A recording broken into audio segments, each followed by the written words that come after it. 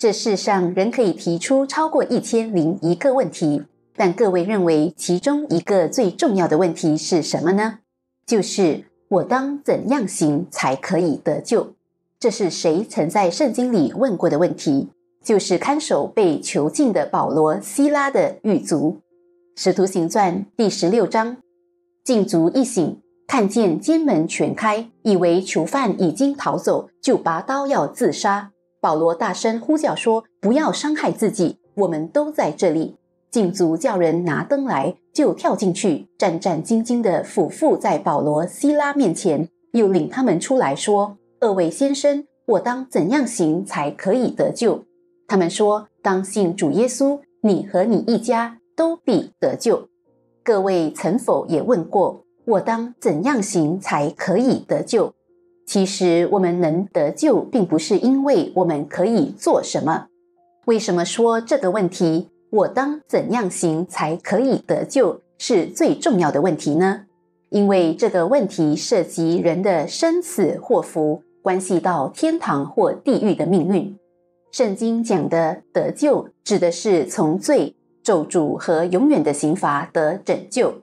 懂得这么问的人，起码是意识到自己有问题，并且也是关心自己命运的人。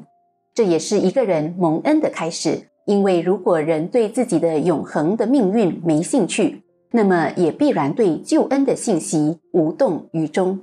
但奇妙的是。圣经给这最重要的问题的答案却非常简短，为什么呢？因为得救的方法原来很简单，人并不是要做一千零一件事才能得救，乃是只有一件事，就是单单信主耶稣。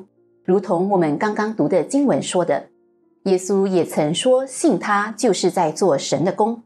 约翰福音第六章，众人问他说。我们当行什么才算做神的功呢？耶稣回答说：“信神所差来的，这就是做神的功。”其实更准确的说，我们得救并不在于我们的行为，这是圣经清楚告诉我们的。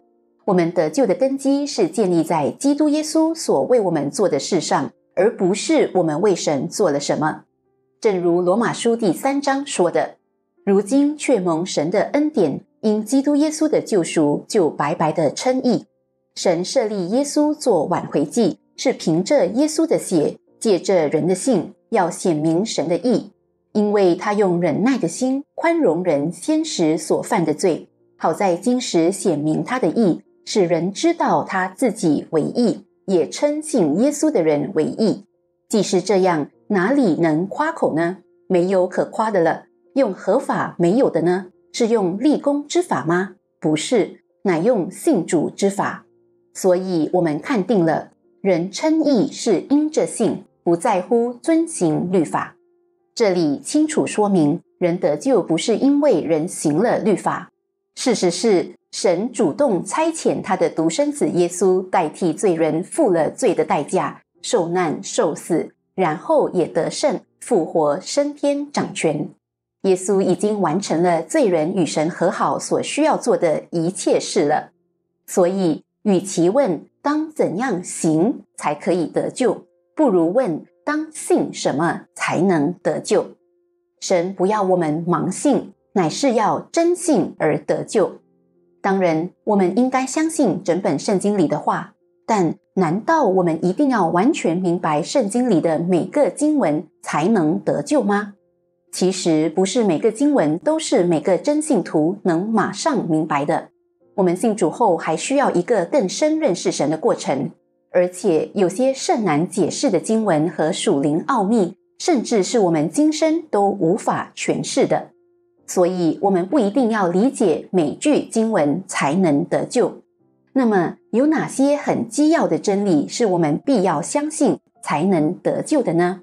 我们来参考罗马书第十章：你若口里认耶稣为主，心里信神叫他从死里复活，就必得救。哥林多前书十五章：我从前领受了，又传交给你们那最要紧的，就是基督照这圣经所记的，为我们的罪死了，又埋葬了，又照这圣经所记的，第三天复活了。注意，保罗只是很简短的说明该信什么才能得救。